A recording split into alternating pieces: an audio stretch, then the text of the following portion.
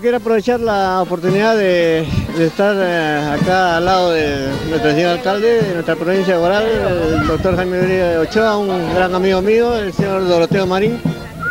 Eh, creo que el día de hoy es muy significativo para todos los representativos de, nuestra zona alta de nuestro querido Guaral. Eh, la inauguración de este lindo campo deportivo creo que va a ser eh, de mucho beneficio para, especialmente para la niñez y juventud de, todos nuestros eh, muchachos.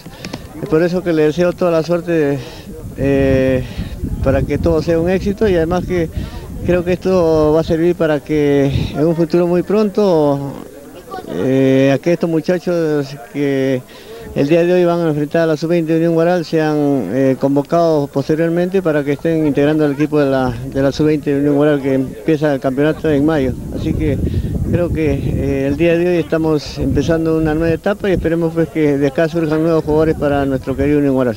Muy mal, gracias. Ahora la palabra del maestrito Pedrito Ruiz.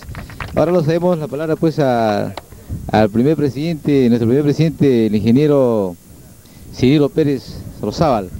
Bueno, queremos escuchar las palabras de nuestro primer presidente de la federación. Adelante, ingeniero.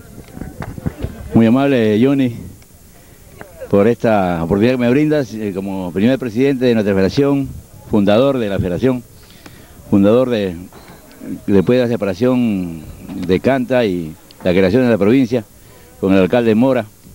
En ese entonces, pues, formamos y fundamos esta federación de Misiones Guarrinas para que agrupe a todas nuestras comunidades de la parte alta y la parte baja, en este caso, que aún no se, ha, no se matricularon nuestros compañeros de, de Okayama. Estamos esperándolos a ellos. Con esa gran emoción que nos embarga hoy día, vamos estar pues, en este evento, en este complejo. Esperamos su colaboración de todos ustedes. Y estoy seguro que cada un año más ya estamos contando con nuestras losas múltiples, losas deportivas, nuestro edificio y nuestra piscina. Eso sí, mi agradecimiento antes que empiece la ceremonia, no quiero, ceremonia, no quiero extenderme más. Quiero ser claro y preciso en este punto. En la ceremonia vamos a ser precisos y puntuales al respecto. Muchas gracias por el uso de la palabra. Muchas gracias.